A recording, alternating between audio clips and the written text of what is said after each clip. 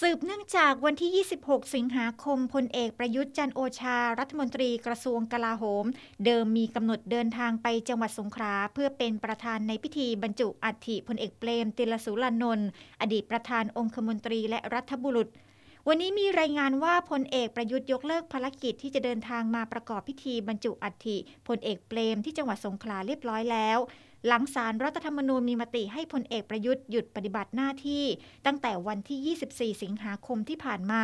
จนกว่าสารรัฐธรรมนูญจะมีคำวินิจฉัย แต่ได้มอบหมายให้นายวิษณุเครืองามรองนายกรัฐมนตรี ปฏิบัติภารกิจดังกล่าวแทน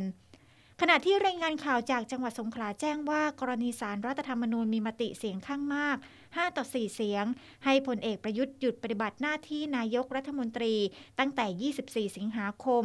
รอจนกว่าสารรัฐธรรมนูญจะมีคำวินิจฉัยวาระการดำรงตำแหน่ง 8 ปีนั้นทำให้ต้องยกเลิกภารกิจที่จะเดินทางมาเป็นประธานในพิธีบรรจุอัฐิพลเอกเปรม ที่สวนประวัติศาสตร์พลเอกเปรมในจังหวัดสงขลาวันที่ 26 สิงหาคม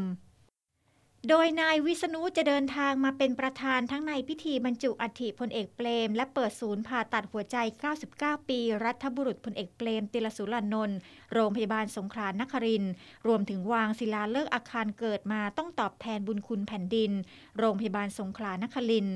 สำหรับอัฐิของพลเอกเปรมนั้นค่ำคืนนี้จะมีพิธีสวดพระอภิธรรมอัฐิเป็นคืนสุดท้าย ก่อนที่จะมีพิธีบรรจุอัฐิในช่วงเช้าวันที่ 26 สิงหาคม ที่บริเวณฐานอนุสาวรีย์พลเอกเปรม ภายในสวนประวัติศาสตร์พลเอกเปรมตำบลพวงอำเภอเมืองจังหวัดสงขลา